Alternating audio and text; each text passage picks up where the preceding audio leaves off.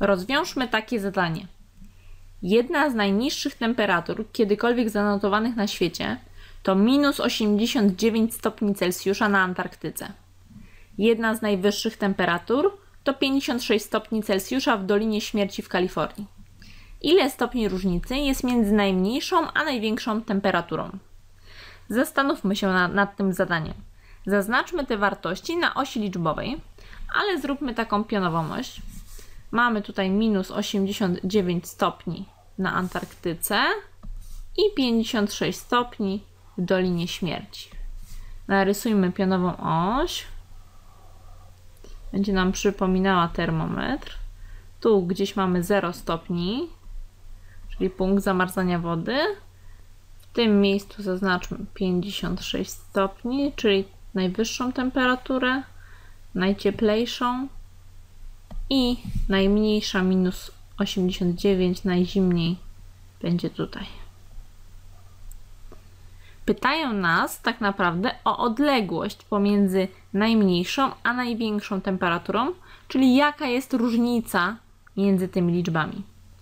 Czyli weźmiemy większą liczbę i od niej odejmiemy mniejszą liczbę. Czyli od 56 chcemy odjąć minus 89. Wiemy, że odejmowanie liczby ujemnej to jest tak jak dodawanie liczby dodatniej, czyli 56 dodać 89.